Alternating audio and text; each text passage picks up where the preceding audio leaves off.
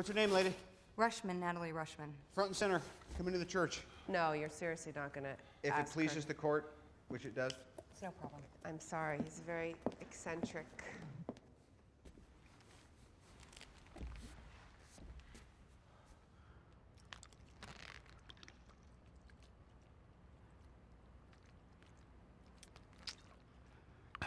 What?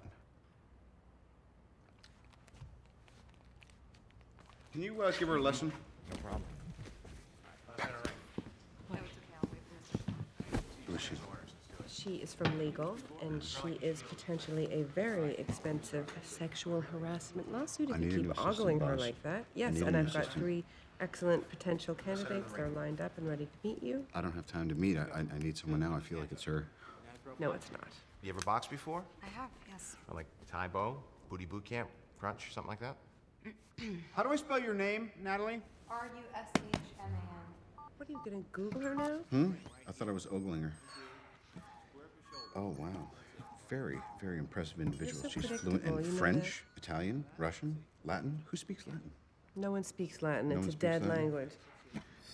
You you can read Latin or you can Yeah, yeah. write Latin, Did but you, you, can't speak in Latin. Tokyo? So, Because she modeled in Tokyo.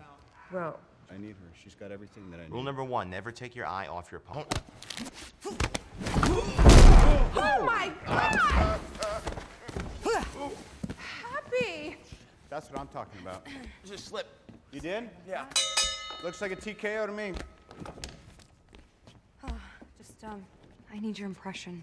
You have quiet reserve. I don't know. You have an old soul. I meant your fingerprint. Right.